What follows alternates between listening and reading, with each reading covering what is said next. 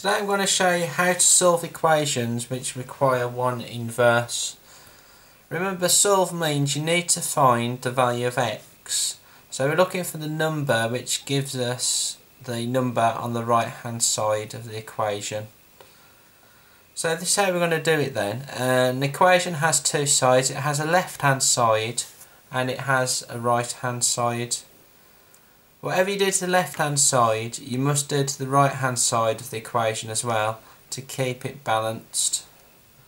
So to solve this equation here, x plus 4 equals 99, all you need to look at is the left hand side and notice what's happening on the left hand side, we're adding on 4 to x. So to solve this we just need to do the opposite to plus 4, which is minus 4 so we need to take away 4 from both sides of the equation. This will get rid of the 4 on the left hand side and leave us with x. So 99 take away 4 will give us 95. Let's take a look at an example 2. So in this one we've got x minus 7 equals 48. So look on your left hand side, what are we doing to x? We're taking away 7. So the opposite to take away 7 is plus 7. So let's add 7 to both sides. So this will get rid of our minus 7 here on the left hand side and leave us with x. 48 add 7 is 55 and that's our final answer.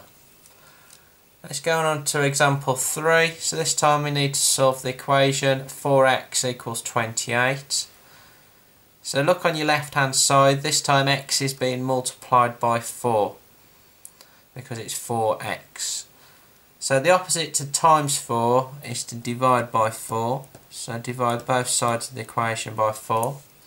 This will get rid of the 4 on the left hand side and just work out the right hand side now. 28 divided by 4 is 7 so in our final example then we've got x over 7 equals 3 so this time x is being divided by 7 so the opposite to divide by 7 is times 7 so we do this to both sides of the equation.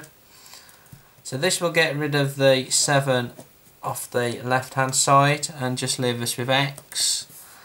So work out the right, 3 times 7 is 21.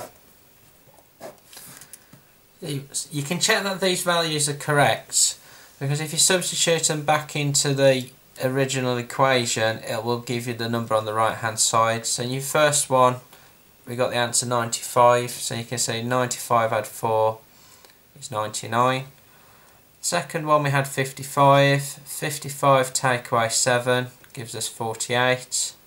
Third one we had x equals 7 as our answer. Again sub it in. 4 times 7 is 28. And our final one was x equals 21. So let's check this one. 21 divided by 7 is 3.